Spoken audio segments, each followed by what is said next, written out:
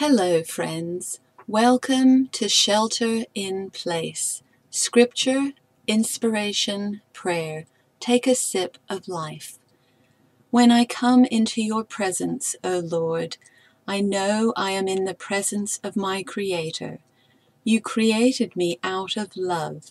You even know the number of hairs on my head. Your presence, O Lord, is the greatest of all. Psalm 91, 14 to 16, ESV. Because he holds fast to me in love, I will deliver him. I will protect him because he knows my name. When he calls to me, I will answer him. I will be with him in trouble. I will rescue him and honor him. With long life I will satisfy him and show him my salvation. Today's artwork is a stunning oil painting depicting the well known biblical account of Daniel in the lion's den.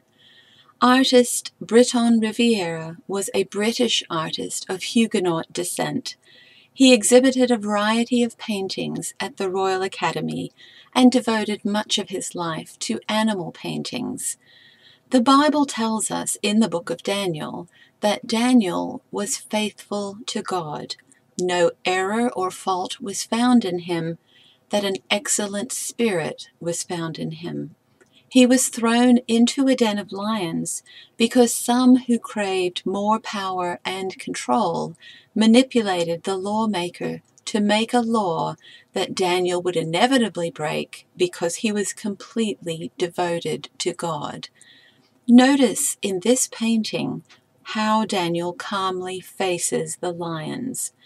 When we live our lives abiding in Christ, living every moment in the presence of God, we can live fearlessly even in the midst of very real dangers.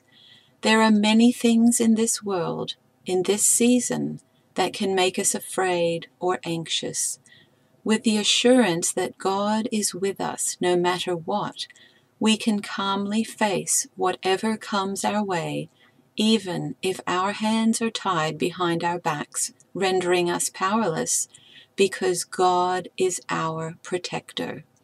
He will never abandon us. God is your protector.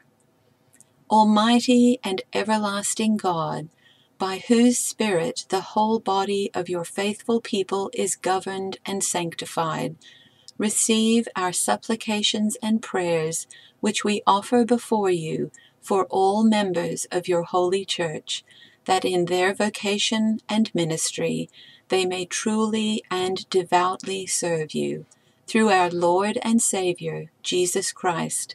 Amen. Thank you for joining me. See you next time.